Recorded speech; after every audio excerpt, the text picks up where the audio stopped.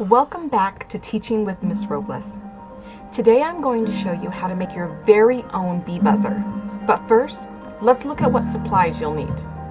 In order to make your own bee buzzer, you will need scissors, a stapler, one index card,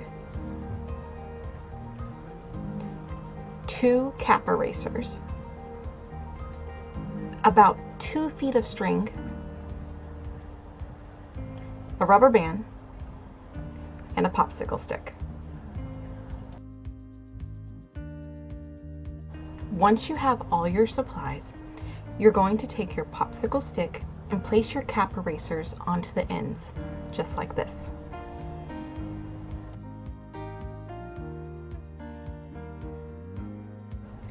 Next, you're going to trim your index card down so it will fit in between your two cap erasers.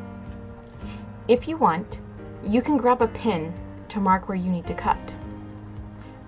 After you trim the index card with your scissors, make sure to be creative and decorate your index card at this point.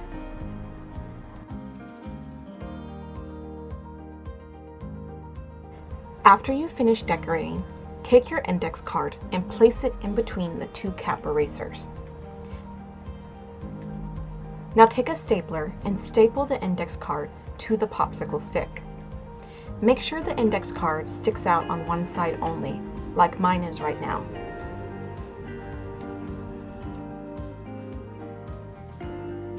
Then you are going to grab your string and tightly tie the string to one end of the popsicle stick.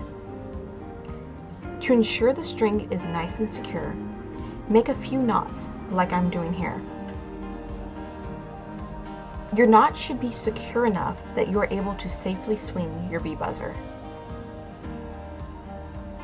Take your scissors and cut off any string left over from making your knot. Your bee buzzer is almost complete and should look something like this. Finally, Pick up your rubber band and stretch it around your popsicle stick and cap erasers. Make sure the rubber band fits snugly and isn't twisted or your bee buzzer will not make noise. After you do this, your bee buzzer will be ready to go. Make sure to swing your bee buzzer in an open space free of any people or objects.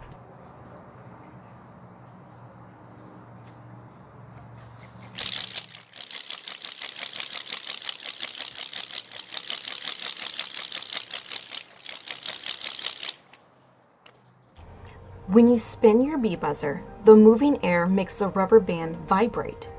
The vibrations make the noise you hear while spinning the bee buzzer. I hope you all enjoyed this new engineering project, and I'll see you all next time during Teaching with Miss Robles.